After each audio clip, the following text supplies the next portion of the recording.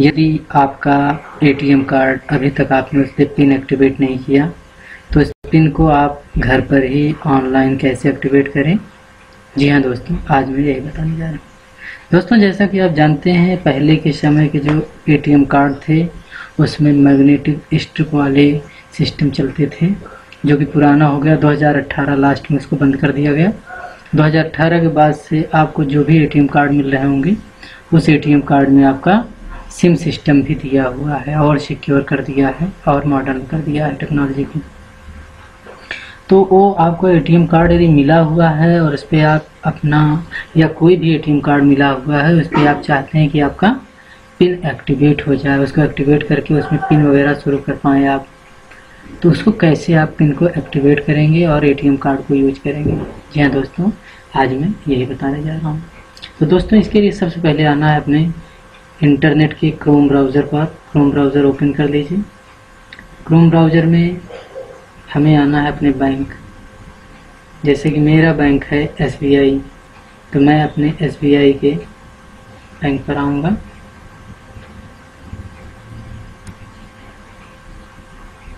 मैं अपने एसबीआई के बैंक पर आऊँगा। इसमें हमको डालना है एसबीआई ऑनलाइन एसबीआई ऑनलाइन डालते ही हमको गूगल पर इस तरह सर्च मिल जाएगा।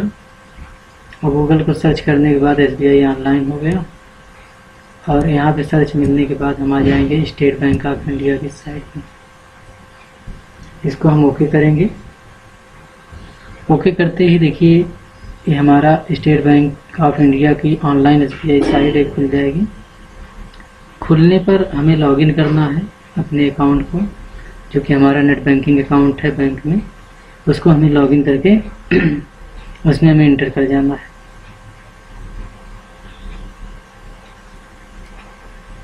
और यहाँ पर मैं आपको बताऊँगा कैसे आप अपने एटीएम कार्ड को जो है वो पुराना वाला चाहे नया वाला उसको कैसे एक्टिवेट करेंगे।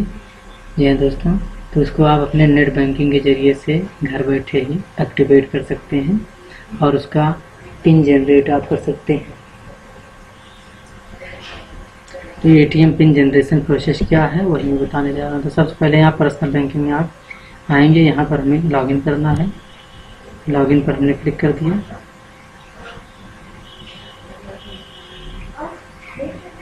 लॉगिन पर हमें क्लिक करना है। लॉगिन पर क्लिक करते ही पर्सनल बैंकिंग में लॉगिन योनो पर नहीं जाना, हमें पर्सनल बैंकिंग पर लॉगिन करना है।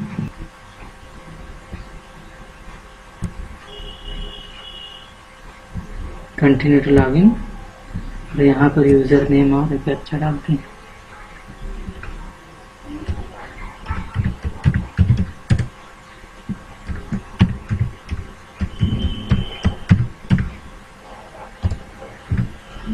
और यहाँ इमेज डाल देते हैं। डालकर हम लॉगिन करते हैं।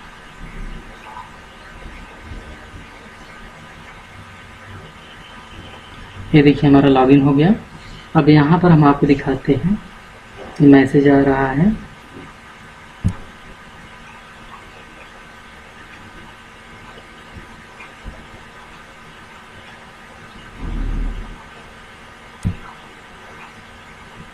अब यहाँ पर हम आएँगे ई ई सर्विस पर। ई सर्विस देखते हैं कहाँ पर है। ये देखिए यहाँ पर है ई सर्विस ई सर्विस में हमें आना है। ATM card service ATM card service देखिए है, इसको हम सिलेक्ट कर लेते हैं।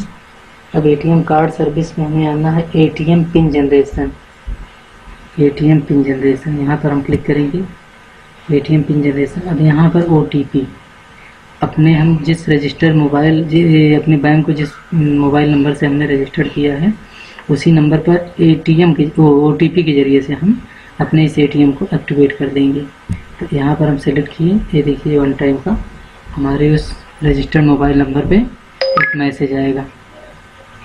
ये देखिए मैसेज हमें मिल गया है। अब यहाँ पर हम पासवर्ड डाल देते हैं। जो भी हमें ओ मिला है उसको डाल देते हैं। वन टाइम पासवर्ड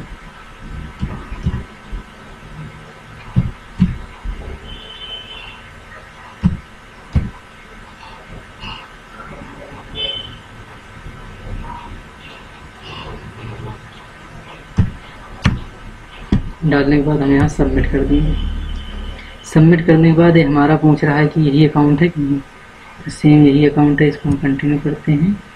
कंटिन्यू करने के बाद ये कह रहा है कार्ड नंबर कौन सा है?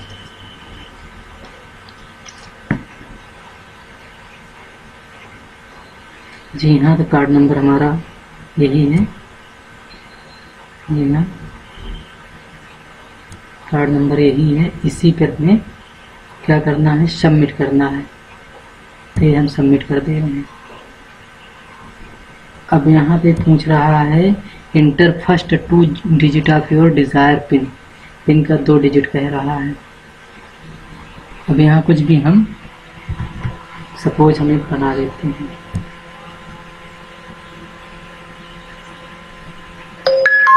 अब ये मैसेज के ज़रिए से हमें आगे की भी डिजिट मिल जाती है। ठीक है? अब यहाँ कह रहा है enter four digit of new pin enter first two digit created by you follow to send you जो हमें एस रिसीव हुआ है। तो हम यहाँ पे डाल देते हैं और सबमिट कर देते हैं। ये देखिए दोस्तों, इस प्रकार हम new ATM pin number has been update successfully का मैसेज आ गया और हमारा एटीएम का पिन जनरेट हो गया और एक्टिवेट हो गया। तो दोस्तों, आज की वीडियो में बस इतना ही। इस प्रकार आप तो अपने किसी भी एटीएम को एसबीआई के जैसे मैंने एटीएम को यहाँ पर उसका पिन जनरेट किया, आप किसी भी एटीएम के पिन को जनरेट कर सकते हैं। और दोस्तों तक यदि आपने हमारे चैनल को सब्सक्राइब नहीं किया सब्सक्राइब कर लीजिए और अपने दोस्तों के साथ शेयर करना ना भूलिएगा। Thank you